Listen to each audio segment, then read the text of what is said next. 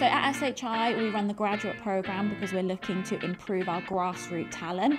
The graduate program was built to support bringing in entry level graduates to really improve our sales functions and our other supporting teams. You have dedicated support from our learning and development team and also our sales management team. So we've got people in there that have supported graduates for 15 plus years, but also industry leading individuals that can support you with the sales skills that you need.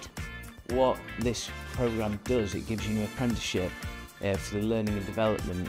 On the other side of it, you're a salesperson, so it gives you the opportunity to get that hands-on experience. We offer uncapped commission, so what that means is there is no limit to what you can earn.